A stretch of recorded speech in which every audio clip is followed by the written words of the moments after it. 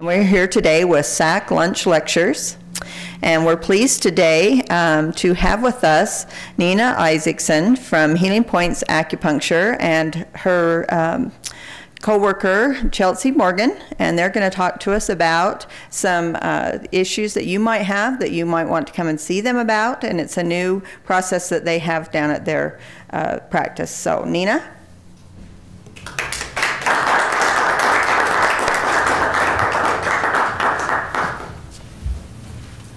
Chelsea and Janet, do you want to come up and get ready? We are proud to announce that South Utah County now has neurofeedback. Um, Healing Points Acupuncture is expanding its services to include neurofeedback.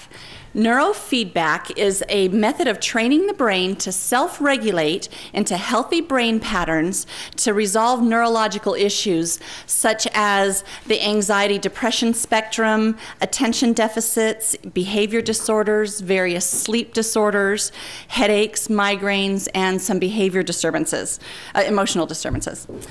I am so excited about bringing this treatment to my clinic because I spent 12 years on antidepressant and anti anxiety medications. Every few years, my doctors would add another pill to keep my depression under control. And I thought I would have to live like that for the rest of my life. Then, six years ago, I got regular acupuncture and neurofeedback and have been drug free for six years and enjoying a high level of emotional stability. No comments from the peanut section over there. Um, I received neurofeedback training at the time, but I wanted to focus on acupuncture. Chinese medicine is my first love. And so I put my training and my equipment on the shelf and waited for the right time to start it up. And then I, I hired Chelsea Morgan to assist me in my clinic. And this girl has a mind like a steel trap, and she absorbs information like you wouldn't believe. And she flew to California and got trained in neurofeedback at the EEG Institute, which is the founder of neurofeedback. And she will continue her education this fall at UVU and study psychology. So this is how neurofeedback works, okay? The coolest thing is that your brain is constantly taking in information, processing that information, and, and deciding how to use it. What if you were able to give your brain a window into its own behavior so that it could see and understand what it was doing? Neurofeedback is that window. So you can see right now that Chelsea, this is Janet, our friend, and Chelsea is attaching the um, leads to the scalp. And the scalp is mapped out uh, as a microcosm of the body, and there are specific areas for each um, issue that we want to treat.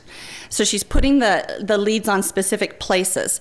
And then the computer that you can see there listens in on the brainwave activity. It, nothing goes into your brain, the computer just reads the brainwave patterns. This is called an EEG. And some of you may have had an EEG at one time or another at the hospital. Um, so then, then the technician watches the brainwave activity on her own monitor and directs the patient's monitor, the one that Janet will be watching in a moment, to display that information back to the brain the patient just sits comfortably, and the brain is rewarded and trained with two types of uh, rewards. One is visual, one is auditory.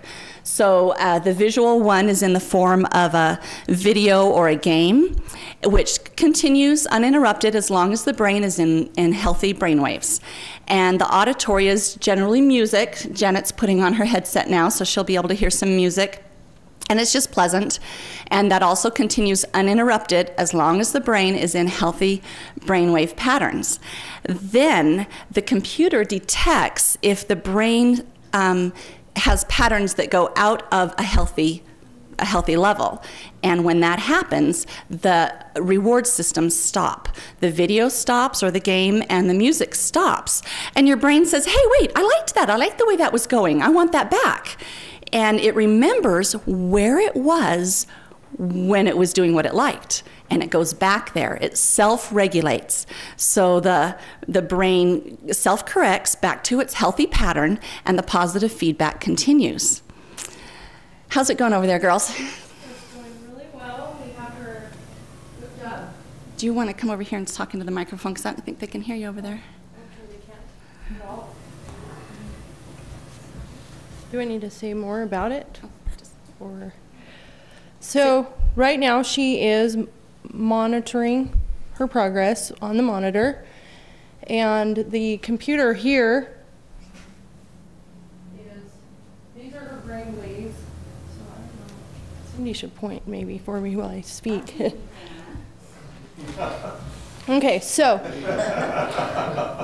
so down below is where the brain waves are being monitored.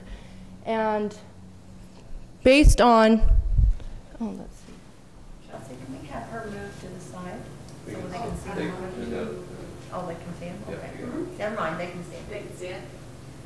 If she moves, the little leads get all disconnected. Okay, so we're good.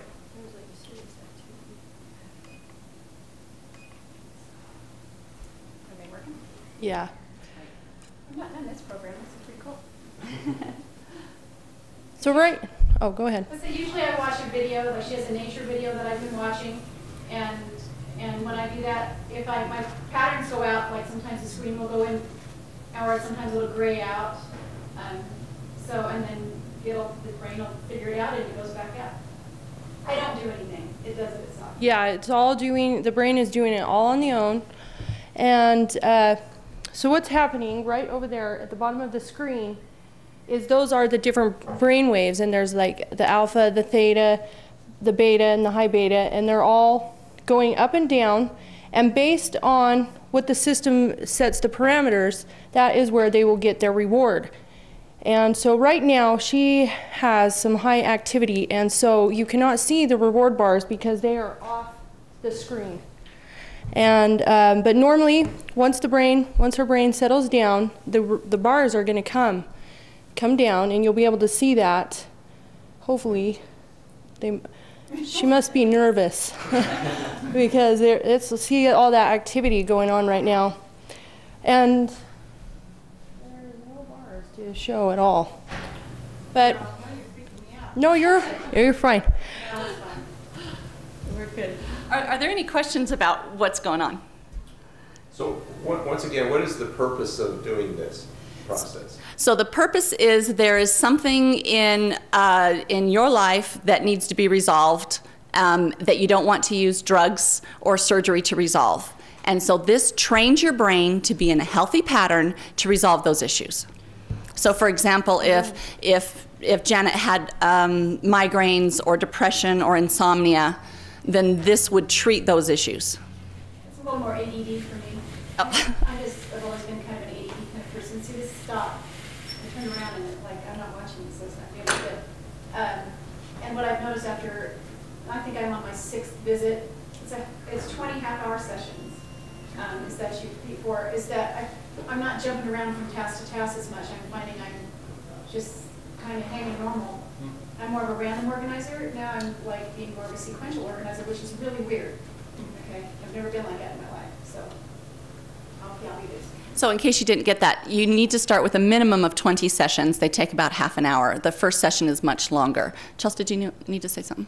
Oh, I was just going to say, so basically what happens is the, tr- the brain trains itself to self-regulate so that it can function more efficiently and more effectively. And, um, So, so is this the therapy that you're providing right here? yes. Is that what that is? This is what's, what's going on right now. And so all you do is you'll come in and I'll hook you up like I did her and it's all non-invasive. The electrodes or the leads are just monitoring.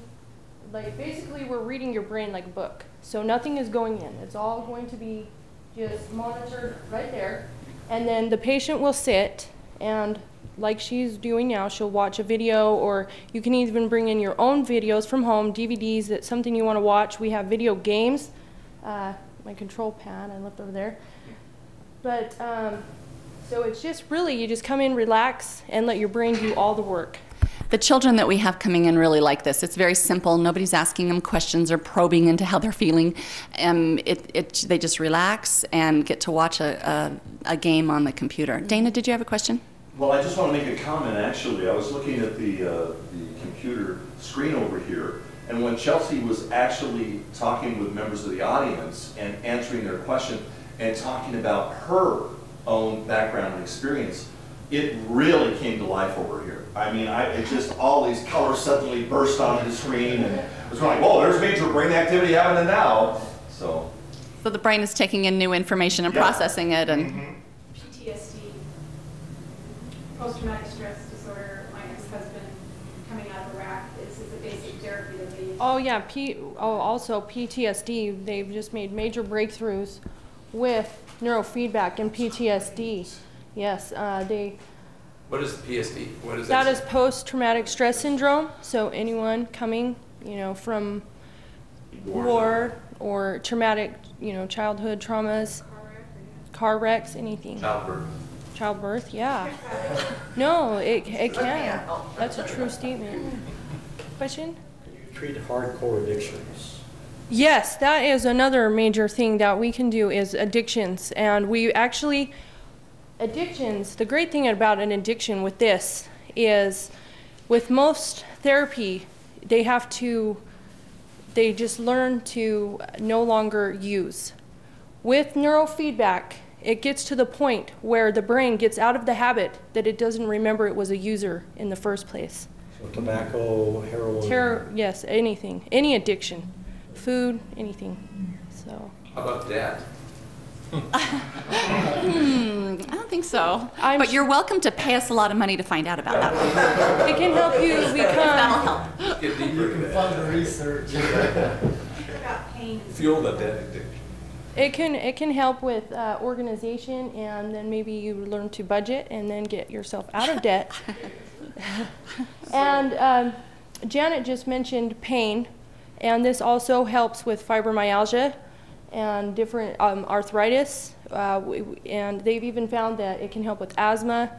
Uh, migraines is a big one. We can get rid of migraines, headaches, um, any any type of. Did you have a question?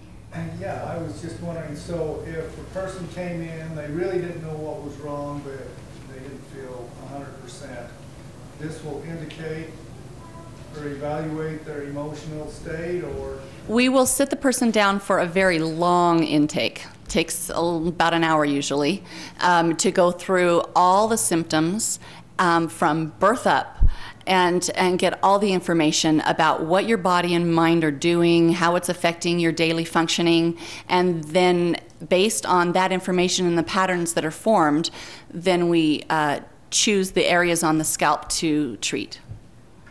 So does this actually cure anything, or is it just a tool by which the brain takes care of itself?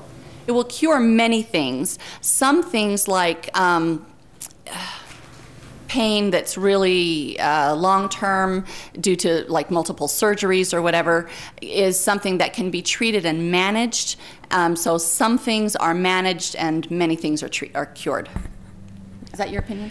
Yes. Um, well, I don't like to use the word cure, but what I like to say is once the brain learns to function effectively and efficiently on its own, things that were out of order, as in migraines, anxiety, depression, pain, all that will just decease or stop or lessen. is this a technology and science that you would say is like a step above or beyond biofeedback, which so many people were using in the 80s and in the 90s? Well, this is biofeedback. It is biofeedback, This is EEG. still is. Yes, this is EEG biofeedback, also known as neurofeedback or neurotherapy. And So it's it is- specifically biofeedback to the brain. To the so you can find biofeedback therapists that will treat different parts of the body, your abdomen or whatever. Um, but this is just the brain. That's all we do. We're just focusing on the brain. Right. And One last question, just, I don't know if you can a- answer this, but someone, you say they have to have 20 sessions, is that? Yes. Is that a requirement based That on? is- I mean, like if it's an addiction, is it worse, so you may have to have more and less conditions or less, or is it always gonna be just 20? No, it could be it could be more, depending on how the person is. But it, doing less than 20 or less than 10 is not going to be functional or helpful. You're trying to train something by creating a new habit for your brain. So you need to repeat that, and so the the EEG Institute recommends 20 treatments, and that's where we start. that's where we start. And that, that could be all you need, but normally you probably would need more. And that's just, like she was saying, because the train, the, the brain, excuse me, the brain needs to train, retrain itself. And especially for adults, it can take longer, you know, because if they've had these habits or patterns for years and years. But sometimes the brain will just grab hold and run with it. So everyone's different. And the one thing that I wanted to say also, uh, the reason that we are doing the neurofeedback is because with the acupuncture together, they're a great combination and the possibilities are endless. It's great for children, especially in cases like autism and really younger children. They can bring in a favorite movie that they've watched a hundred times. You know how kids like to rewatch Cars or, or whatever. And uh, we can put that in. They know what the next sequence or the next uh, phrase that's going to be said is. And if their brain's not functioning, it stops. And they're like, what? And their brain just goes right back into the right place. And they're, they're much more easily trained. Uh, one last question, and Carrie's telling us we need to stop. Well, Once, once you start the therapy, uh, how long is the basic session and how much do they cost? So uh, for the 20 treatments, it's going to be $300. And I, I am requiring that you come at least twice a week. More is better, but at least twice a week for the 20 sessions. And like I said, it's going to be $300. How long are the sessions, Chelsea? Oh, they're half hour sessions. So that includes the, the consult, the first consult. Yes. So the first the first session is going to be about an hour and a half because we need about an hour for the intake, and then you want to get a treatment the very first time. Yes. Okay, so call um, Healing Points Acupuncture at 376-4527, or uh, for specific neurofeedback questions and scheduling. What's your number? You can call me at 435 250 6062. Thank you very much.